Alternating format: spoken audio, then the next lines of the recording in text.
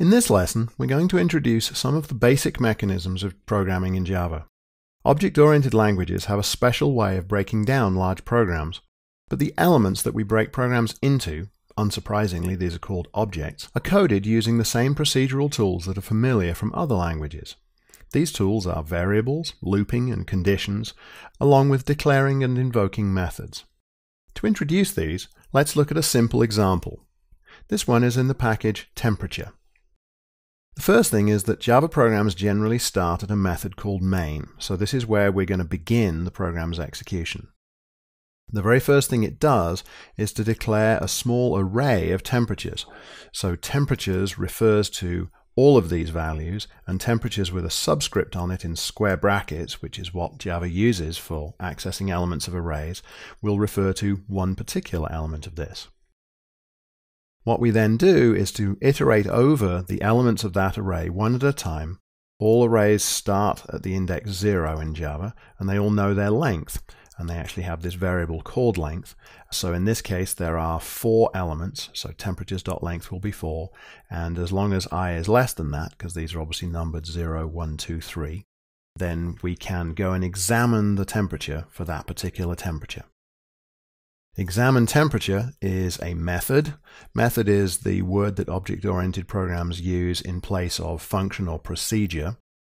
This method is declared as returning void, which really means it doesn't return anything. That kind of makes it more of a procedure than a function. We pass in the temperature to it that we want it to look at. It then prints out a message that says temperature is temp Celsius, and then it goes on to call another method this one is actually a function type method because it returns, up here is the definition of it, it returns an integer value.